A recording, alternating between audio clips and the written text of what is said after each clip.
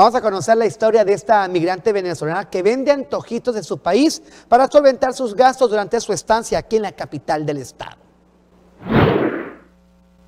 El tequeyoyo es un antojito venezolano que Degnalin Marín vende desde hace dos meses que llegó a Chiapas para poder subsistir durante su migración a una mejor calidad de vida. Hoy en día estamos vendiendo el tequeyoyo, muy parecido al bolobán, es a base de harina de trigo, por dentro lleva tocineta, queso cotija y plátano maduro frito.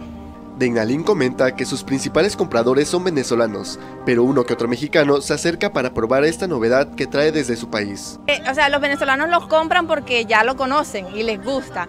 El mexicano lo compra por curiosidad, pero aparte de la curiosidad les ha encantado. El mexicano nos pide 15, 20, 30, o sea, les ha encantado el tequeyoyo.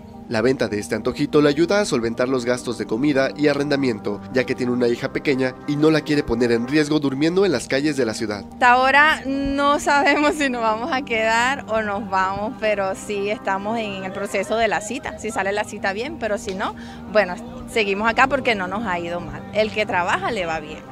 Como ella, muchos migrantes más tratan de ganarse la vida de manera honrada mientras transitan a Estados Unidos, donde esperan ser recibidos por familiares o simplemente encontrarse con el sueño americano.